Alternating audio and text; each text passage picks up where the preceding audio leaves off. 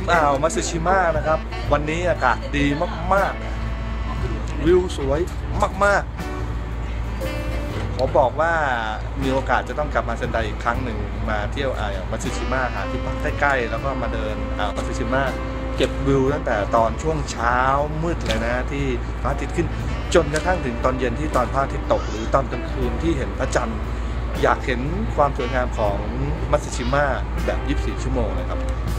สวย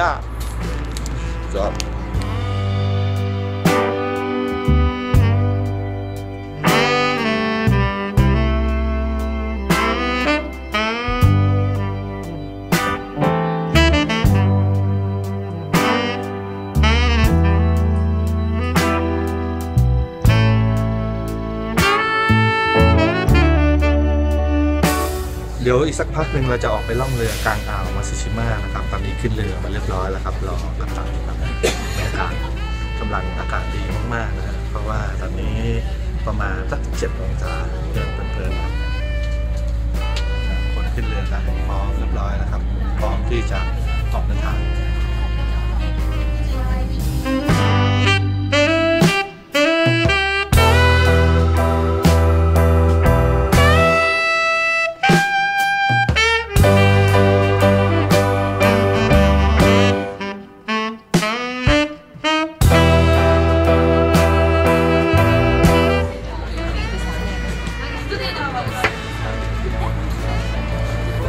นี้ออกมาด้านนอกฮะท้ายเรือ「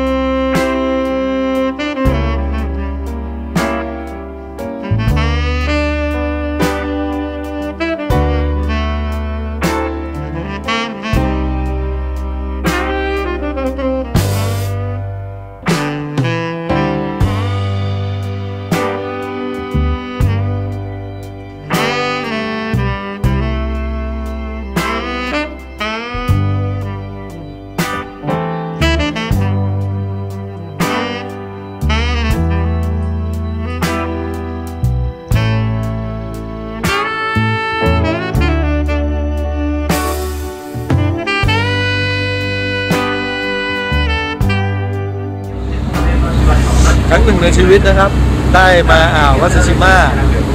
สุดยอด